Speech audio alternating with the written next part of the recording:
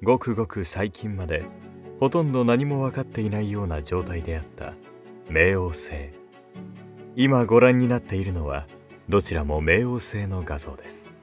しかし左側が2015年に探査機のニューホライズンズが撮影した画像。それに対し右側の画像が撮影されたのは1996年しかも大気の影響がないハッブル望遠鏡によって撮影されたものです。わずか20年程度とは思えないほど観測の精度が良くなっていることがわかります。冥王星観測の最大の問題は地球からの距離。人類はいかにしてこの困難を乗り越えられたのでしょうか。これから紹介するようにそこには携わった人間の技術力だけではなく根気や情熱そして少しばかりの運が必要だったのです。今回はバイエンススペシャル。冥王星観測の歴史に迫ります。冥王星はその発見の経緯もかなり特殊。天王星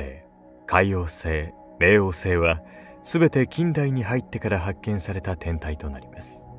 1781年に発見された天王星ですが19世紀頃になると計算と比べて軌道に少しだけズレがあることが明らかになっていました。そこで天王星より外側に大きな惑星が存在しその惑星の重力により天王星の軌道が乱されているという説が提唱されたのです。そしてその予想は見事に的中しほぼ計算通りの場所に太陽系第8惑星海王星が1846年に発見されたのです。しかし海王星の発見当初から天王星海王星ともに軌道が計算と合わないという問題が発生しました。そのため海王星のさらに外側にまた大きな惑星が存在しそれが天王星と海王星の軌道を乱しているという説が提唱されるのは自然なことでした。それから月日が流れ1929年23歳のアメリカ人天文学者クライド・トンボー氏は海王星の外側に存在する惑星を探す仕事を依頼されました。当時惑星を探す方法は数日おきに撮影された空の一部分の画像を高速で切り替え位置が動いた光の点を惑星とみなすというものでした。数日間では恒星は距離が遠すぎて動いていないように見える性質を利用した方法です。天王星と海王星の軌道を乱す惑星の計算上の位置を中心にトンボウ氏による捜索が開始されました。とは言っても1枚の画像に映る星の数は多い時には数十万個。その中から動いている点を見つけるのは至難の業です。実際に使用した写真の一部は現在でも見ることができますがいかに根気のいる作業だったのかは容易に想像ができるでしょう。トンボウ氏はこれを1年間やり続けそしてついに後に冥王星と呼ばれることとなる星を発見することになるのです。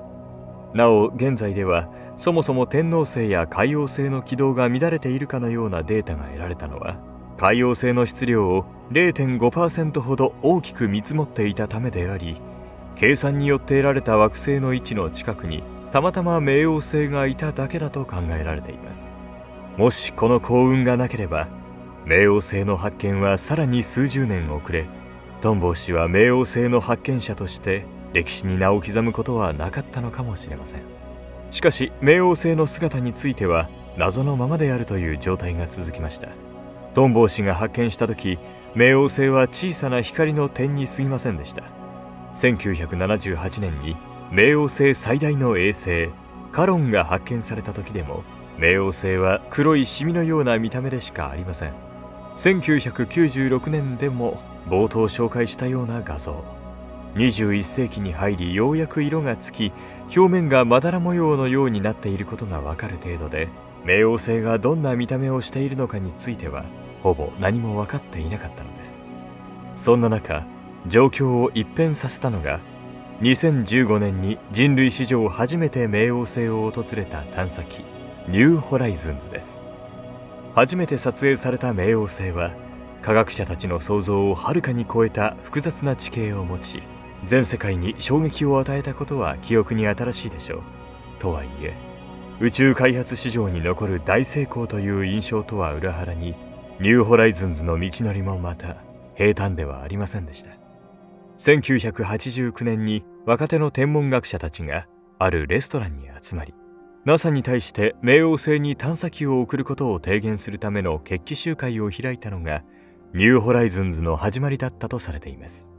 しかし予算の都合や政治的な闘争などの影響で何度もその計画は頓挫しました。科学者たちの根気と情熱が実り2001年にようやくニューホライズンズの計画が承認されることになります。そこから全てが順調に進んでいるように見えました。2006年の打ち上げも大成功飛行時間を短縮するための木星スイングバイも問題なく進行しついでに搭載していた機器で木星の観察にも成功しました。あとは冥王星に近づき予定された観測を行うだけ。誰もがそう信じていました。これは数年経ってから公開されたことですが冥王星最接近のわずか10日前にニューホライズンズが大失敗に終わってしまったかもしれないほどの出来事が起きていたのです。時は2015年7月4日。宇宙空間を移動中のニューホライズンズは突如再起動し半年ほどかけて地上から送信された観測用プログラムが全て消失するという異常事態が発生したのです。すでに観測していたデータの圧縮と冥王星を観測するためのプログラムを地上から受信する。これを両方同時に行った結果コンピュータが過負荷を起こしてしまったといいます。冥王星の自転周期を考えると3日後の7月7日の昼には問題を解決しプログラムの受信を完了させる必要がありました。この時点で地球とニューホライズンズの距離はおよそ50億 km 光の速さで指令を送信しニューホライズンズ側がそれを確認したという信号が地球に帰ってくるまで往復9時間もかかります。そう。時間との勝負が始まります。地上の司令部はまるで戦場のようになっていたようです。机や床で23時間の仮眠を取る技術者たち。その技術者たちの食事を調達するため出前を取るだけの人員が急遽雇われたりもしました。ニューホライズンズのチームは優秀で誰一人として文句は言いませんでしたが一つだけ大きな問題がありました。機体の通信時間は先ほどご紹介したように往復9時間。つまり送信した指令に間違いが一つでもあると9時間のロスとなってしまいます。これを避けるため地上にはニューホライズンズと全く同じコンピュータを積んだシミュレータが用意されており全ての指令はそのシミュレータでチェックしてから送信することになっていました。しかし膨大な量の指令をチェックするためシミュレータが一つでは足りなかったのです。冥王星観測には根気情熱そして少しばかりの運が必要だと話しました。この状況で起きた幸運とは万が一に備えてシミュレータのバックアップを用意してあったこと。バックアップも合わせてシミュレーター2台体制で稼働させたおかげもありニューホライズンズのチームはなんとか期日までにプログラムの受信を完了させたのです。そしてなんと残された時間はわずか4時間だったといいます。その甲斐もありニューホライズンズはかつてないほど鮮明な冥王星の画像を送り届けてくれました。観測されたデータは今後数十年にわたり冥王星の内部や太陽系の惑星の成り立ちの理解にも役に立つと考えられています。人々の記憶にも残ったこの偉業は将来の科学者を育む役割も果たすでしょう。役目を終えたように見えるニューホライズンズの機体は2021年現在太陽からおよそ80億 km の宇宙空間を進んでいます。しかしニューホライズンズの電池は2030年代まで稼働可能と考えられているため多くの小惑星が存在するカイパーベルトや天王星と海王星の観測も続けていくようです。冥王星観測には大きな困難が伴ったことは間違いないでしょう。そしてまた人類の宇宙開発は困難を乗り越えてこそ発展してきました。20年間の解像度の変化だけでもその裏にどれほどの根気情熱そして幸運があったのか。たまには思いを馳せてみるのもいいのかもしれません。今回のバイエンスはここまで。またお会いしましょう。